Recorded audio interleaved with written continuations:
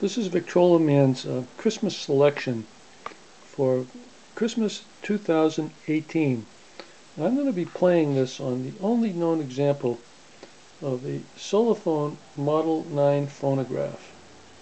Um, but this phonograph is from around 1917 or 1918 and coincidentally the selection I have for you today is uh, going to be um, this Pathé record uh, and two Christmas classics, Hark the Herald Angels Sing and While Shepherds Watch, watched, played by the Pathé Military Band.